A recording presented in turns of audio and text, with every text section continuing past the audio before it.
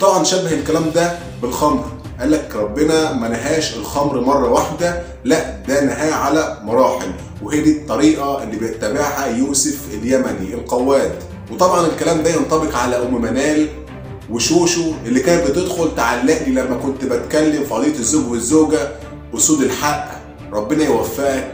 مش عارف إيه. يعني كله كلام بيقولوا إن هم مع محمد الهادي. دلوقتي اتغيرت تماما. وطبعا كان على رأسهم هشام إبراهيم زي ما اعترف يوسف اليمني القواد. بدل ما بتوزع الفلوس على القوادين اللي زيك يا يوسف يا يمن يا قواد وزعهم على الأطفال اللي محتاجة في اليمن. وطبعا اللي كنت حابب أوجهه لحضراتكم إن أنتوا عبارة عن قطيع من الخرفان. عبارة عن قطيع من الخرفان بيقودكم واحد اسمه يوسف اليمني القواد.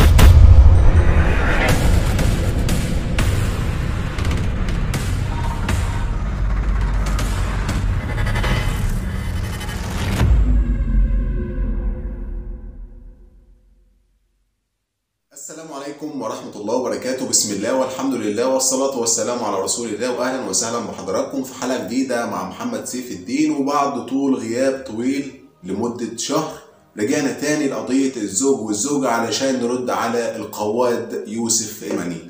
قبل ما ندخل في تفاصيل حلقة النهاردة ما تنساش تدعم الفيديو بلايك وتشترك في القناة لو أنت مش مشترك ولو أنت مشترك ما تنساش تفعل الجرس وكالعادة مستني أرى حضراتكم في التعليقات. حلقة النهاردة هيكون فيها تسريبات قوية جدا عن القواد يوسف اليمني. يوسف اليمني اللي تعمد إن هو يتدخل في القضية بشكل مباشر أو بشكل غير مباشر وده اللي النهاردة وهنوضح التسريبات دي بتقول إيه. هعرض جزء لحضراتكم والجزء التاني أنا هتكلم فيه. ما هو أنت لو شخص محترم ما كنتش قليت أدبك على خالد سوني مع حفظ الألقاب طبعا ده أخويا الكبير. وأي حد يعتدي على واحد مصري لازم نرد اعتباره. وأنا برد اعتبار خالد سوني كونه واحد مصري قبل ما يكون أخ أو يكون صديق. وأنت يا يوسف يا يمني يا قواد لو ما شلتش جزمته على دماغك فأنت هتتضرب بنفس الجزمة اللي كنت هتشيلها على دماغك. نبتدي بأول حاجة اعترف بيها يوسف اليمني القواد إن هو بيدي فلوس للناس اللي واقفة في صف محمد الهادي وبيختار كده مجموعة من القنوات اللي واقعة أو القنوات اللي ما عندهاش مبدأ أساسا ومن هنا يبتدي يديلهم فلوس. أول دفعة بيديها لهم علشان يبطلوا يقولوا ألفاظ في الفيديوهات بتاعتهم. تاني حاجة بيبدأ يديلهم الدفعة التانية علشان من هنا يبدأوا يكونوا محايدين ما بين محمد الهادي وما بين تغريد السيد. ده بالنسبة لتاني دفعة. أما الدفعة الثالثه بيديها لهم علشان يفضلوا مؤيدين يتحولوا من محايد إلى مؤيد لتغريد. وطبعا شبه الكلام ده بالخمر. قال لك ربنا ما نهاش الخمر مرة واحدة لا ده نهاه على مراحل. وهي دي الطريقة اللي بيتبعها يوسف اليمني القواد. آه هو ده اللي هو بيعمله. زي بتوع داعش بالظبط. بيختار من الدين اللي هو عايزه ويرمي الباقي في البحر. اهم حاجة ان الحاجة اللي أنا هختارها دي هتبقى على مزاجي وهتعمل لي اللي أنا عايزه. لكن ده بعدك. وكمان اعترف وقال ان هو بيدي رشاوي للناس اصحاب القنوات علشان يبدأوا زي ما قلت لحضراتكم يتحولوا ما بين ان هم بيقولوا ألفاظ وحشة لما بين محايدين إلى مؤيدين لتغريد. ودي طريقة يعني قذرة زيه زيك يا يوسف يا يمني. يا قواد أنتوا بقى يا شوية رمم اللي ما عندكمش مبدأ والفلوس عمت عينيكم. هل تقدروا بعد كده ترجعوا وتقفوا في صف محمد الهادي؟ أنتوا كده أصبحتوا بالنسبة ليوسف اليمني القواد كارت محروق. خلاص أنتوا اتحرقتوا على كده وما عادش ليه لازمة. طالما الواحد اتنازل عن مبدأه وتنازل عن الحق في مقابل إن هو ياخد شوية دولارات ملهمش أي 30 لازمة ولا هيفضلوا معايا لحد ما أموت ولا هيأمنوا مستقبل أولادي وحتى لو كانوا هيعملوا كل ده برضو أنا مش عايزهم في مقابل إن أنا أقف مع الحق ويكون بالفعل عندي مبدأ أمشي عليه بين الناس كلها. وكمان اعترف إن هو عامل حملة أو مجموعة على الواتساب علشان يستهدف القنوات اللي واقفة في صف محمد الهادي وهو بالفعل قال الكلام ده وقال اللي هيستهدف تغريد أنا هستهدفه. القنوات دي إحنا بنتبعها علشان نقدم ضدها بلاغات ونبدأ نقفل لهم القنوات بتاعتهم والفيديوهات بتاعتهم. ما تنتشرش ولا توصل للناس. هو ده بالظبط اللي بيعملوه لأي حد أو لأي قناة بتتكلم في قضية الزوج والزوجة وبتكون مؤيدة لمحمد الهادي اللي معاه الحق. وطبعا الكلام ده ينطبق على أم منال وشوشو اللي كانت بتدخل تعلق لي لما كنت بتكلم في قضية الزوج والزوجة اسود الحق ربنا يوفقك مش عارف إيه. يعني كله كلام بيقولوا إن هما مع محمد الهادي. دلوقتي اتغيرت تماما. وطبعا كان على رأسهم هشام إبراهيم زي ما اعترف يوسف اليمني القواد. وكمان يوسف اليمني القواد اعترف وقال إن أنا مش بنك. لأن هو بيتعرض لاستفزازات مادية بيتعرض للابتزاز المادي. القنوات اللي هو كان متفق معاهم علشان ينتقلوا من وقف الألفاظ اللي بيقولوها في الفيديو لمحايدين لمؤيدين. عايزين فلوس كتير هيجيب لكم منين؟ يوسف اليمني مش بنك علشان يديكم. أنتوا دلوقتي أنا نفسي اعرف أنتوا بتتعاملوا إزاي؟ يعني بتتعاملوا بالدقيقة مشاهدة مثلا ولا بتتعاملوا بالفيديو ولا بتتعاملوا إزاي في اسلوبكم؟ يعني كل واحد دلوقتي باع ضميره وباع الحق وباع كل الدنيا دي كلها في مقابل ان هو ياخد 200 300 500 ألف دولار ولا حاجة. وطبعا اللي كنت حابب أوجهه لحضراتكم إن أنتوا عبارة عن قطيع من الخرفان. عبارة عن قطيع من الخرفان بيقودكم واحد اسمه يوسف اليمني القواد. القواد بتاع بيوت الدعارة لما اتقفلت بعد انتشار فيروس كورونا أو كوفيد 19 وطبعا الكلام ده أثر على بيوت الدعارة اللي هو بيديرها أو تحت إشرافه. ومن هنا طبعا مفيش دخل كويس مش هيقدر يصرف عليكم. فأنتوا خلاص أنتوا بالنسبة ليوسف اليمني القواد اتحرقتوا. خلاص عبارة عن كارت محروق ما بقاش ليكم عازة. وطبعا الكلام ده بيخلي أي واحد صاحب قناة يفقد المصداقية مع الجمهور. الناس اللي وثقت فيك من البداية وبدأت تتابعك. أنت كده بتشتتهم. يعني إزاي كنت مع محمد الهادي وبعد كده حولت مع تغريد؟ أكيد الناس دي قبضت والناس دي أخدت فلوس. يعني لو واحد واقف مع تغريد على مبدأ معين هو معارض آه لكن بيقول وجهة نظري واختلاف الرأي لا يفسد الود قضية.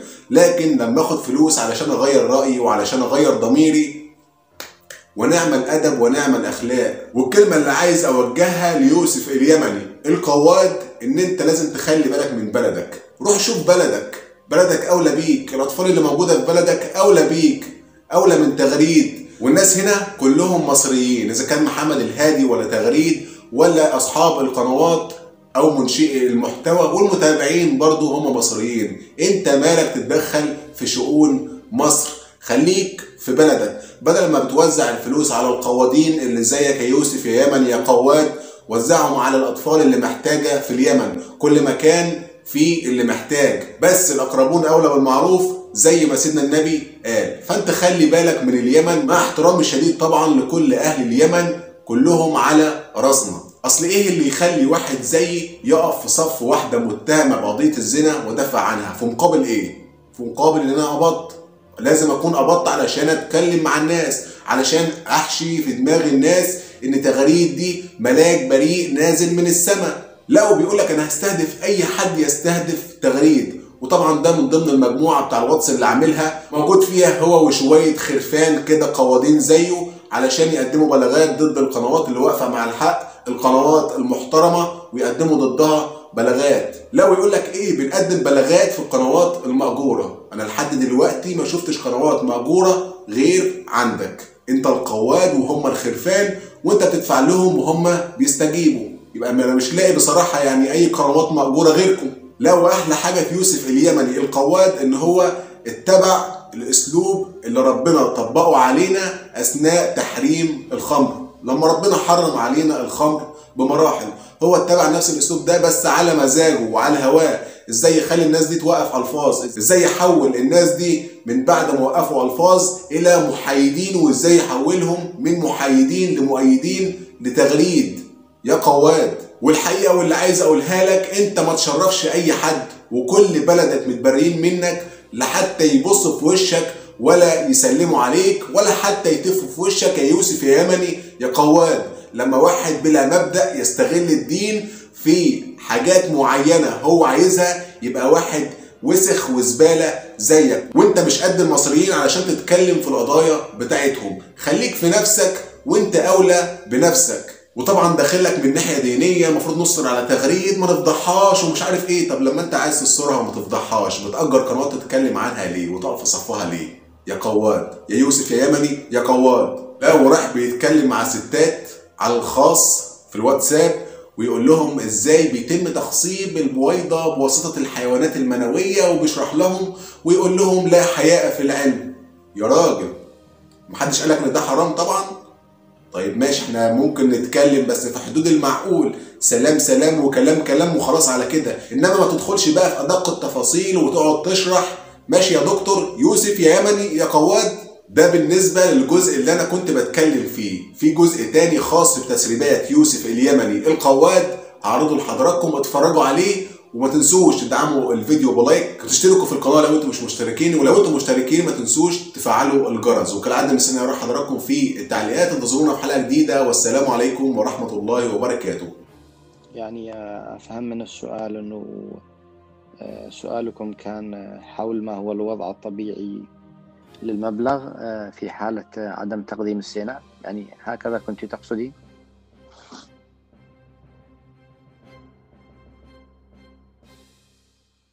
يعني هو السؤال بهذا الصيغة يعني أنتم تقصدونها بهذا المعنى؟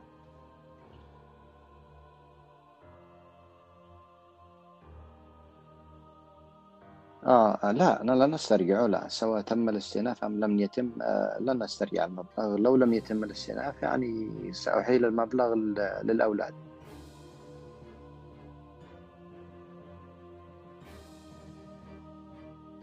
آه أمهم. أمهم. لا لا لا يا يا أستاذة نورة يا نورة. آه هو طلب مني فلوس. طبعا هو كان يستخدم لفظ العاهرة لفظ الزانية. قلت له لا يعني أبدأ أتفق أنا وأنت أنه هذا اللفظين يعني حتى الإسلام لما حرم الخمر ما حرمه إلا بالتدرج آه فأنا قلت له نبدأ نتفق على لفظ العاهرة الزانية هذا نشيلها فاتفقنا. طلب عن طلب مني فلوس قليل يعني ليست كثيرة 300 دولار أعطيته. في المرة الأخرى طلب مني فلوس قلت له لا أنا أريد أن تغير المحتوى كامل. أن تتحول من من آه من إنسان أزلت ألفاظ معينة إلى إنسان تتبنى قضية مثلا الدفاع عن الزوجة وما أحب أنا أصلا حدا يفهم أنه لما أقول دافع عن الزوجة أنه أنا أدافع مثلا عن الخطأ لو وقعت فيه لا سمح الله. لو ثبت لي أنها مارست الزنا لا, لا سمح الله وأسأل الله أن تكون هذه غير حقيقة. وأنا طبعا انذرته بثلاثة أشهر صيام ثلاثة أشهر صيام يا نورة والله العظيم. لو لو خرجت براءة تغريد أنا منذر بثلاثة أشهر صيام. على العموم طلب المبلغ الثاني آه، بطريقة استفزازية قلنا لا لازم أن تتحول موقفك 100% تدافع عنها وأنا لا أريد الحياد. وافق وافق. آه، يبدو لي أنه متجه يبلغ يطلب المبلغ الثالث. لا خلاص أنا لما وقعك تخرج من من معادي إلى محايد إلى مؤيد لا عيب بحقك إنك ترجع إلى المربع الأول بحيث إنك تتبنى موقف ضدها. تمام؟ هذا قصة يا نورة. فهناك المجموعة عندي طبعا مجموعة أنا من أمريكين أنا أعذريني بالطلب أنا ما أستطيع أنه تدخلي في المجموعة مع احترامي لك وأنت مؤيدة لي بالفكرة في القناة وتعليقاتك تاج على راسي. المجموعة هي أمريكيين نحن نقدم بلاغات على القنوات. يعني مثلا الأستاذ بيبو وعائلته. أنا كنت من أول المتيمين والمعجبين بالمحتوى الذي تقدمه حتى حفظت أسماء نوسة ومؤمن يعني أسرة فاضلة. لكن أطالت لسانها على اليمني فأطال اليمني يده على قناتها. عندي مجموعة أمريكيين. طبعا هم بلاغات قدمناها باللغة الإنجليزية والأسبانية والعربية حتى يتقبلها اليوتيوب. اضعفناها فعلا. أنا بنفهم بنفهم. هناك ناس خبراء يفهم. آه، أنا قناة آه، بيبو, بيبو ترند هكذا اسمه أعتقد.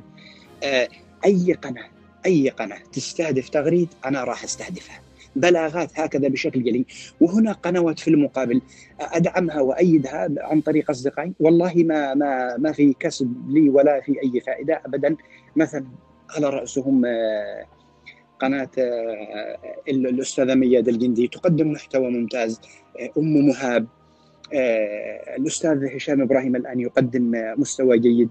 يعني لكن الاستفزازات المالية موجودة. وكأنه يوسف اليمني هذا بنك. أنا لست بنك أنا إنسان عادي بسيط وإن كان دخلي نوعا ما محترم. لكن لا يعني إنه أنا مش ورائي مسؤوليات أنا ورائي زوجة ورائي أولاد ورائي أم ورائي إخوة ورائي أخوات ورائي أسرة ورائي بلد. حتى إنهم بدأوا يعايروني إنتم شحاتين إنتم جيعانين مش لاقين حاجة تأكلوا مش يعني هم لا يعرفون من أنا ولا أنا أسعى إلى الخير في كل مكان بقدر ما أستطيع. والله أحرم نفسي وأعطيها لغيري عادي. والمسألة في تغريد ما كانتش مسألة مسألة فقر. المسألة مسألة عفه وطهاره فهو من هنا جاء التعاطف. على العموم هو أنا شغال بالبلاغات بالبلاغات. يعني حتى على القنوات المأجورة على قنوات الآثمة. يعني إحنا نلاحظ الأستاذ خالد سوني مستميت بطريقة رذالة بطريقة حقارة بطريقة وضاعة يعني وكأنه لا هم له إلا إثبات أن الواقعة قد حصلت. فالقصد من هنا أنكم تشاركون أنتم بالبلاغات كل من من من جهته. آه وإحنا أحباء وإحنا إخوة وما بيننا إلا ما حرم الله.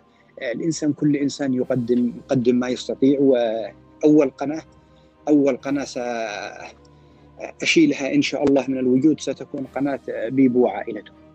بيبو وعائلته. آه لا في الوقت في الوقت الذي أي إنسان أي إنسان مثلا يوقف عبثه يوقف عبثه آه ويعود إلى جادة الحق والصواب. أنا والله أشيله على رأسي. من كان بيبو وعائلته هذه هي طبعا أخت فاضلة من الإسكندرية وكنت أنا من أبرز المتيمين والمعجبين والداعمين لها لكن للأسف خرجت عن المحدود. طبعا قناة الأستاذ خالد البلاغات التأثير فيها نؤثر سنؤثر عليها بصفة الدوام والاستمرار. لكن سيكون تأثيرنا قليل على اعتبار أنه لديه نسبة مشاهدين لديه نسبة like. فكل ما ارتفع ال like كل ما ارتفع نسبة المشاهدين كان البلاغ أضعف. لكن القنوات الذي مثلا تستهدف تغريد وهي صغيرة أنا أركلها ركل من داخل أمريكا. يعني ركل طيب السؤال الآن ما الفائدة الذي تعود ليوسف اليمني من هذا الشيء؟ لا إحنا ننادي بمبدأ الستر. هناك من يخرج يقول للناس في الإعلام لا تصدقوا الفاحشه ستستمر لازم أن تفضح لازم أن تعرى لازم أن لا الإسلام ما جاب هذا الشيء على الإطلاق. هم فاهمين للنصوص بغير سياقها محرفين لمعانيها مختلفين مع جوهرها. الأصل أنه الدولة هي التي تعاقب هي التي تحاسب هي التي تقدح هي التي تمدح هي التي تبرئ هي التي تدين بعيدا عن الناس بعيدا عن التشهير وإلا ما, ما, ما هو الداعي لوجود الدولة.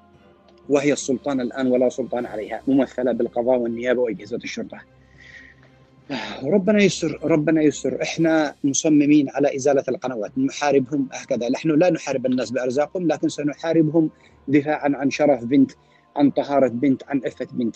وأنا قلت لك والله العظيم أنا منذر بصيام ثلاثة أشهر. إني تكون بريئة وعندي لها مفاجأة لو صارت براءة. لو صار مثلا إن شاء الله بإذن الله لو صارت بريئة هناك مفاجأة من العيار الثقيل بإذن الله. ويعني سلمى سلمى مثلا أنا عندي ولد وهو لا زال صغير ممكن في نفس السن. إن شاء الله يعني هكذا نيتي وأقسم بالله أنها نيتي. ان تكون لابني بإذن الله طبعا أدفع فيها مهر أدفع فيها شقة أدفع فيها كل شيء وأتكفل وكأن الزواج في اليمن. وتعيش معه في أمريكا. أنا أحاول ما أحسسهاش بمسألة وقوع الفاحشة لا سمح الله من الوالدة. هذا في حالة في حالة أنها وقعت. يعني أنا عندي ثقة عندي ثقة أن أن البراءة ستكون بإذن الله ستكون بإذن الله. Thank you sir. Thank you so much